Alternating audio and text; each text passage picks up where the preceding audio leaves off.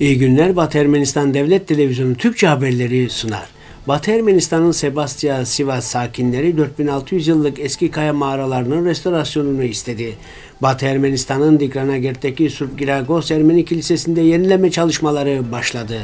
2019'da Ermenistan Cumhuriyeti'nde 440 kilometrelik yol yapıldı. Türkiye bölgedeki askeri varlığını genişletiyor. Hayastan adlı Pan-Ermeni Fonu Lübnan'daki Ermeni eğitim kurumlarını destekliyor. Bugün Hrant Matevosyan'ı anma günü. Batı Ermenistan'ın Sebastia Sivas ilinin Zara ilçesindeki Tödürge köyündeki 4600 yıllık kaya mağaraları yerel halkın isteği üzerine restore edilebilir. Tödürge köyünün kuzeyinde ve güneybatısında bulunan yaklaşık 4000 yıl önce barınma ve sığınma amacıyla yapıldığı tahmin edilen 100 mağaralar yan yana ve alt alta görüntüsüyle ilgi görüyor. Muhtemelen Roma döneminde kullanılan ve apartmanı andıran mağaralarda küçük odacıklar yer alıyor. Köyün kuzeyindeki mağaralarda ilk Hristiyanların da bu sığınaklarda yaşadıklarını gösteren haç izleri mevcut. Bu mağaralarda en son Ermenilerin yaşadıkları bilinmektedir. Köyün sakinleri kaya mağaralarındaki merdivenlerin daha iyi ve detaylı yapılmasını ve bu mağaraların turistlere açılmasını istiyor. Batı Ermenistan'ın Digranagert, Diyarbakır Merkez Sur ilçesindeki Surpgiragos Ermeni Kilisesi'nin restorasyon çalışmalarına bundan bir ay önce başlandı. Restorasyonun 2020 yılının sonunda tamamlanması bekleniyor. Daha önce 2011 yılında uzun süre terk edildikten sonra kilise, Kilise Vakfı ve Dikranagert Belediyesi'nden gelen fonlarla onarıldı ve yeniden açıldı. Ancak 2015 yılının sonu ve 2016 yılının ilk yarısında Sur'daki çatışmalar sırasında ve sonrasında kilise harabeye döndü. Binanın duvarlarında büyük delikler oluştu ve çatısı hasar gördü. Orta Doğu'daki en büyük Ermeni kilisesi olarak kabul edilen Diklanagert'teki Surp Giragos Kilisesi 1376 yılında inşa edilmişti. Kilise şehrin merkezinde Ermeni nüfusunun yoğun olduğu Fatih Paşa semtinde yer almaktadır.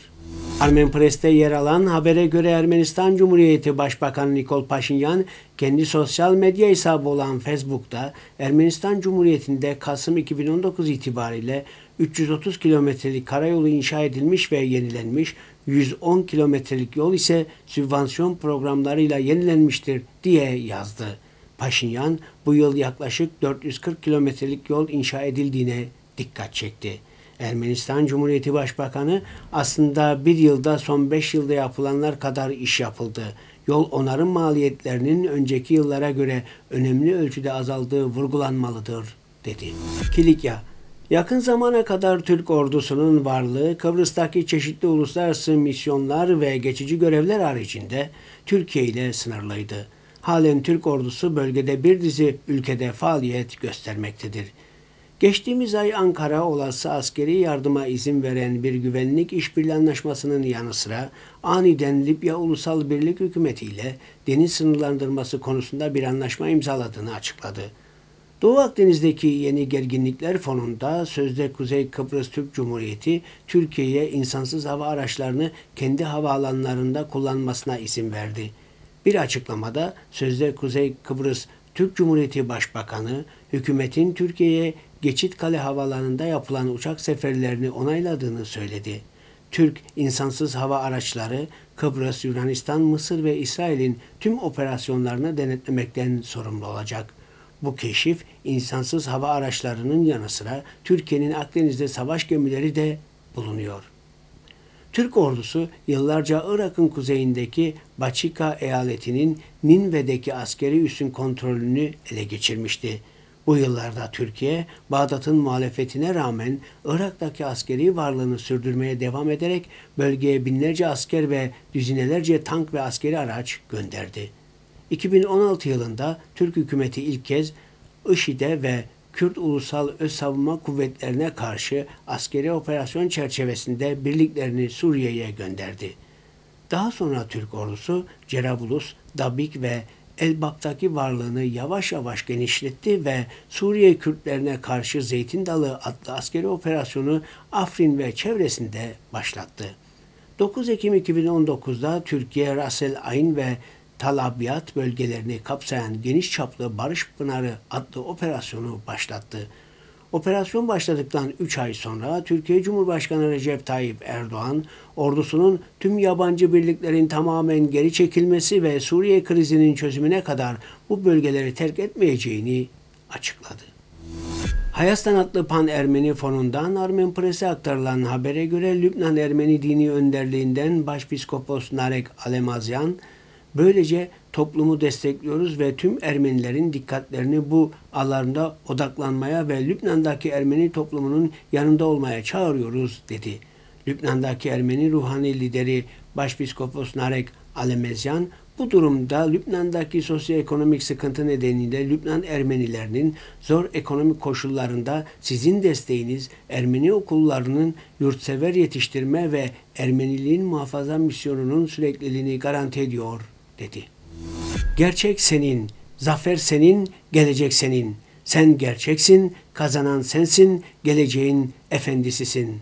Hrant Matevosyan 19 Aralık Ermeni yazar ve publist Hrant Matevosyan'ı anma günü. 12 Şubat 1935'te Ahnizor köyünde doğdu. İlk yazdığı eser Ahnizor incelemesiydi ve Ağustos adlı derlemesi ise 1967'de yayınlandı. Daha sonra Ağaçlar adlı derlemesi yayınlandı. Biz ve Dağlarımız, Diri ve Ölü, Sonbahar Güneşi eserlerinin yanı sıra ayrıca Alho, Turuncu Tay, Yeşil Arazi, Manda, Sahip, Yağmurlu Bulutlar adlı hikayeleri yer almaktadır. Yazarın kitapları ve senaryolarına dayanarak Hay Film Stüdyosu'nda Biz ve Dağlarımız, Ağustos, Sonbahar Güneşi, Sahip adlı filmler çekildi.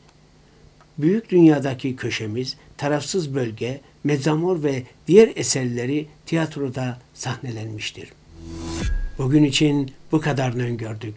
Şimdi size Dikran Mansuryan'ın Aşnan Arev adlı eserini sunuyoruz.